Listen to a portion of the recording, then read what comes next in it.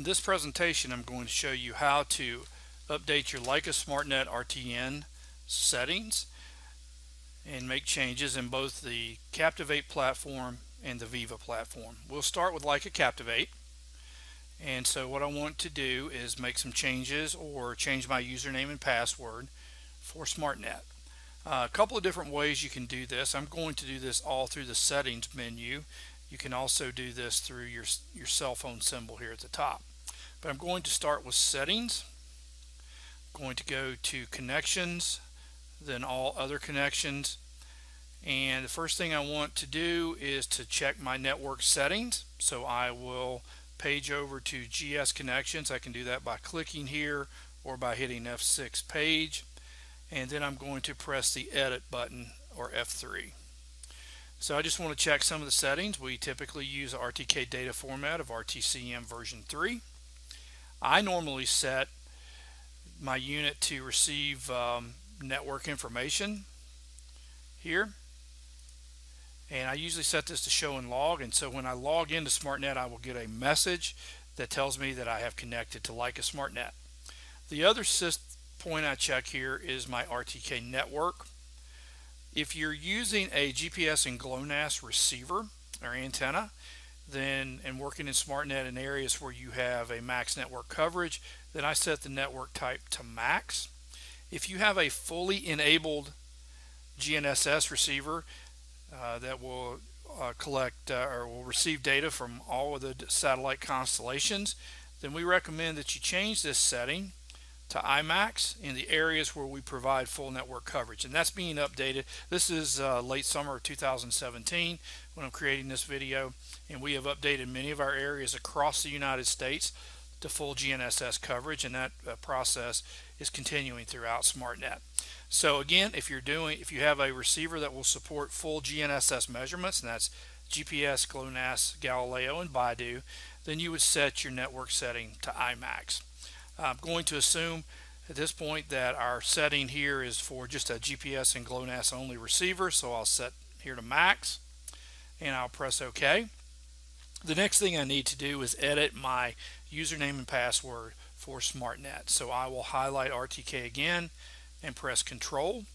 Now we do have uh, different SmartNet usernames I'm sorry excuse me domain names for different areas throughout the United States in this case, I'm going to set my server to use uh, to, to work here where I do in Virginia. So I'll click on that. I'll edit Virginia SmartNet, press edit there.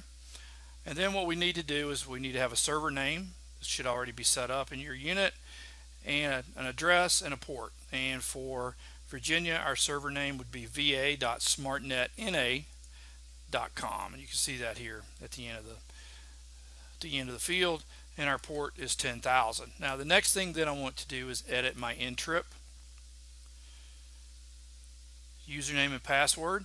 Your user ID is case sensitive. This will be supplied to you by SmartNet. You need to make sure that you enter that correctly. And then your ntrip password, this will be a six digit value. You can type that number in and press store. You can press OK. And now the last thing we need to do is set our ntrip mount point. So again, if you remember, we set our network type to max. So we, in this case, we could set our mount point to RTCM3 max. And that's, there is an underscore right here between the 3 and the M if you're typing that in. You can see it there as I highlight the field. If you have an internet connection uh, from your data collector, you could also press the source button, which would take you to the source table and then you would be able to select that mount point from the list. Again, if you're using uh, a full GNSS receiver, then we would recommend that you set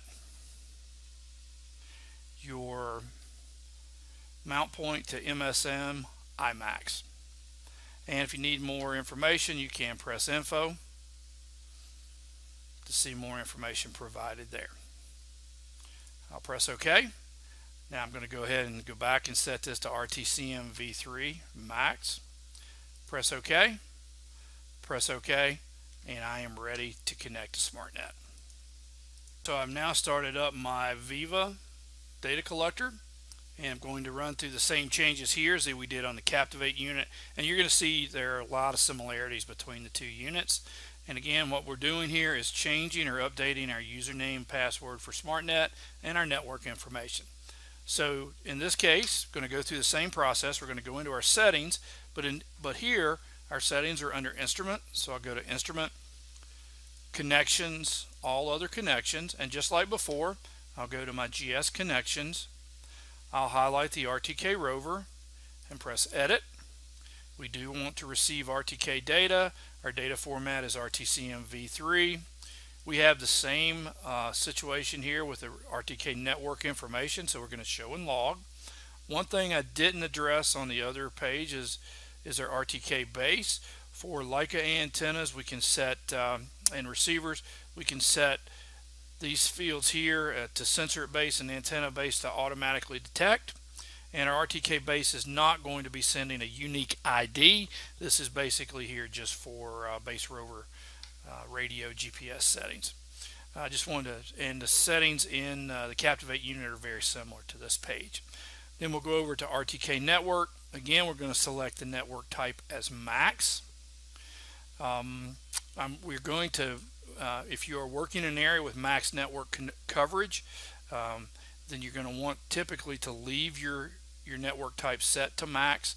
Um, if you know you're working in an area where there's only single baseline coverage, you could set that to nearest. But we're going to set that to max and press OK. We'll do the same thing process here as we did with Captivate. We'll highlight RTK Rover again and press Control. This will take us to our server to use, which will allow us to update our ntrip mount, our ntrip username and password along with our mount point. So again, we just check our server to use. Should be, in this case, VA SmartNet. And again, we'll press edit and you'll see that we have the same uh, domain name and port as we had uh, with the Captivate unit. We'll also press ntrip and check our username and password. We do want to use ntrip with this server. We type in our username and our password and press store press OK again we can type in our mount point here if we know if we know what we or we need.